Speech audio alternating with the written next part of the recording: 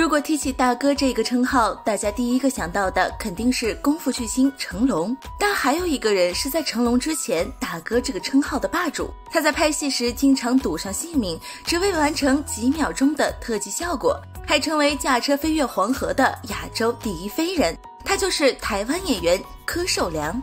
在电影行业贡献巨大的他，唱歌方面也颇有建树，一首大歌成为经典金曲，传唱度流传至今。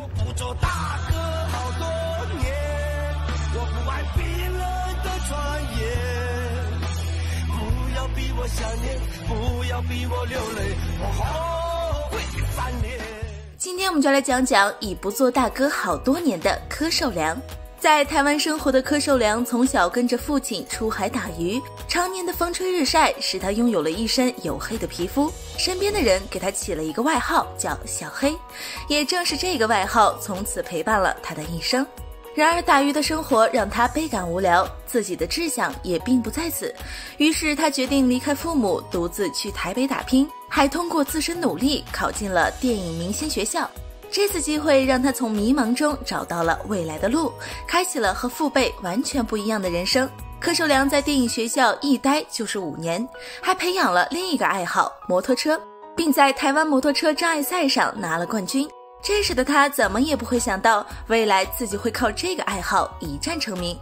从学校毕业后的柯受良就来到了香港，正式开始踏足演艺圈。因为没有知名度，又没有后台，他只能从场记和舞狮做起。说白了，就跟跑龙套差不多，干着最苦最累的活，却拿着最少的钱。为了挣更多的钱养家，他将目光瞄向了片酬很高的特技演员身上。那个时候拍戏的设备和技术并不先进，荧幕上各种跳楼和飞车的镜头都是演员或者专业替身实际做出来的。而柯受良正好喜欢摩托车和刺激的特技。虽然危险了点儿，但总比跑龙套成名的机会要大很多。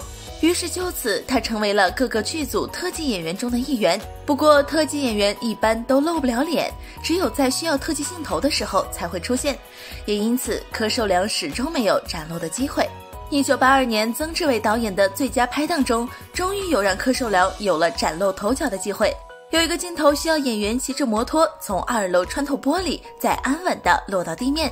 刚开始找的是一个国内一级摩托车手，但他当场就拒绝了，还说这是非死即残的活。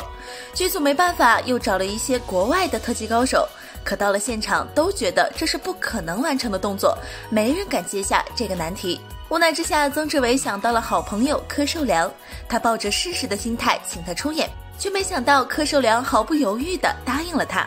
为了完成这个动作，柯受良在片场不断练习，但始终达不到理想的状态。曾志伟也有了改剧本的念头，但为了不让曾志伟失望，柯受良决定放手一搏。好在功夫不负有心人，完美的完成了破窗落地的动作。不但拍摄出来的效果非常好，甚至比一开始设计的还要精彩。自此，他一战成名，柯大胆的称号也由此而来。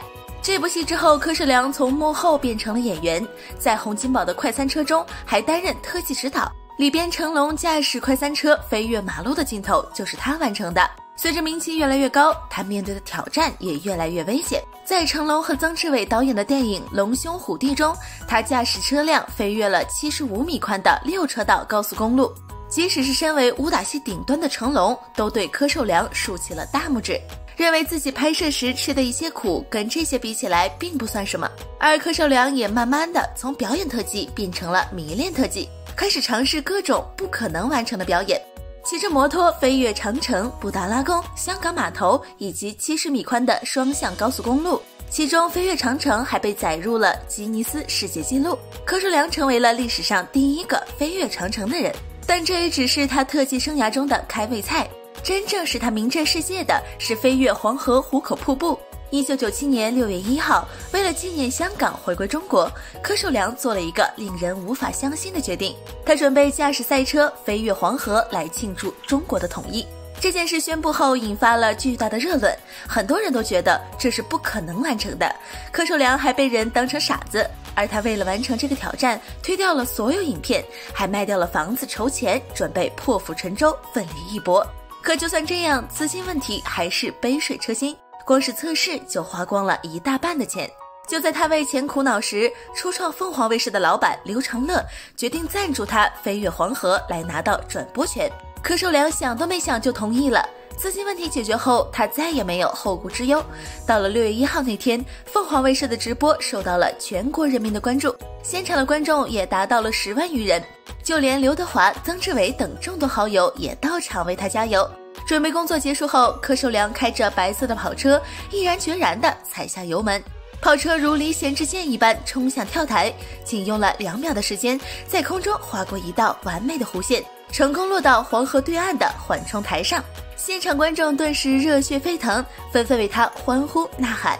那一刻，柯受良的名字彻底响彻全国，他完成了自己的梦想，也送给了香港回归中国的礼物，创造了历史，被人誉为亚洲第一飞人。柯受良不仅是名出色的特技演员，还是一名歌手。刘德华写了一首《笨小孩》，将自己二十多年来的经历与感情都写进了这首歌，还邀请柯受良和吴宗宪一块儿演唱。这首歌出世后一鸣惊人，在第二十一届十大中文金曲上拿到了优秀国语歌曲奖。此后，柯受良也开始在歌唱的道路上越走越远。第二年，他便发布了自己的第一张专辑《再次征服》，其中大哥一曲瞬间火爆全国，传唱度更是流传至今。现在我们再看到《大哥》这首歌曲的 MV，更像极了他的一生。柯受良在现实中也被很多人称为好大哥，他为人仗义，性格豪爽，只要朋友需要帮忙，他都尽心尽力。从成龙和曾志伟的电影特技中就能看得出来，尽管拼上自己的性命也不害怕。刘德华曾说过，只要黑哥有需要，无论什么时候都会去支持他。就很忙，嗯只要他有重要的表演，我一定会到现场去支持他。嗯他飞黄河啊，那个我都在。可就是这样一位爱国、有情有义的人，却没能安享晚年。二零零三年十二月九号，他在好友家中因酒后引发哮喘，永别人世，年仅五十岁。大哥的突然离世，使家人一度丧失了生活的希望，因为家里除了有一套按揭的房子，没有任何存款。虽然柯受良入行多年，但飞越黄河花光了所有的积蓄。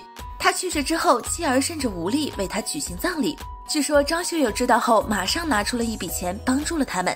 葬礼当天，更是来了二百多位明星前来吊唁，众人也纷纷慷慨解囊。刘德华后来也举办了纪念演唱会，将演唱会收入全部给了大哥的妻子，让他们可以正常维持生活。然而，这些情谊并不会随着时间的流逝而淡忘。多年后，大哥的女儿结婚时，张学友和刘德华两位天王以娘家人的身份护送出门，以父亲的名义给足了女儿底气。柯受良去世这么多年，身边的好友还能待他如初，这应该是他最值得欣慰的事情了吧？